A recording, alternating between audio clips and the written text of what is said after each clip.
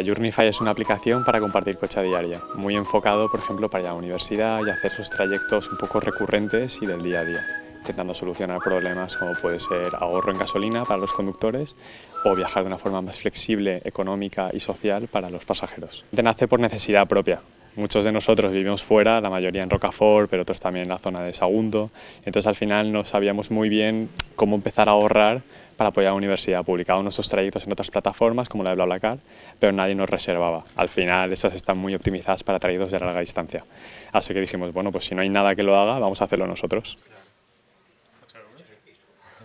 Yo acabé el grado de Ingeniería de Diseño en el Politécnico el año pasado y nada, conocí a uno de los desarrolladores, es un amigo mío, y me dijo, oye, pues necesitamos gente que nos ayude un poco con el tema del diseño, y yo pues, mira, acabo de acabar, no, no tenía otro trabajo, y dije, pues, pues adelante, además la idea me parece una idea muy guay, decir, poder compartir coche, que yo es el medio ambiente, o sea, todas las claves que seguía Journeyfy me gustaron, entonces dije, pues, es un buen modo de empezar. Conseguimos mil usuarios y desde entonces casi en dos meses nos hemos doblado y básicamente ahora mismo en crecimiento estamos un 100% mensual.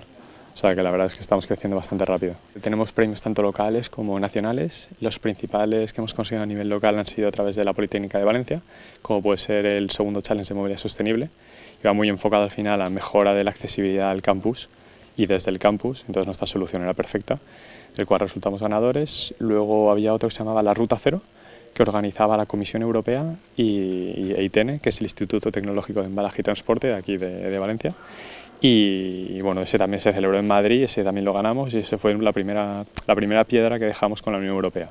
Tras ello entramos en Climate Kick, que es una aceleradora de la Unión Europea recientemente, hace tres meses, ya recibiendo apoyo y subvenciones de, la Unión como tal. Estas aceleradoras van por fases. Eh, Climate Kick, por ejemplo, tiene una primera fase que en la que nos encontramos, que entran 15 proyectos eh, cada año. En la segunda fase de esos 15 proyectos pasan 10, ese lo tenemos el 28 de junio. estamos trabajando muy duro para poder pasar los siguientes que pasen y poder recibir una subvención de 15.000 euros. Y luego ya los seis meses más vendría la siguiente fase, que de esa solo pasan cuatro proyectos y recibirías una subvención extra de 30.000 euros. El objetivo es conseguir que la mayoría de estudiantes de aquí de Valencia conozcan al menos la aplicación y que comiencen a, utilizarla compartiendo coche para ir a la universidad.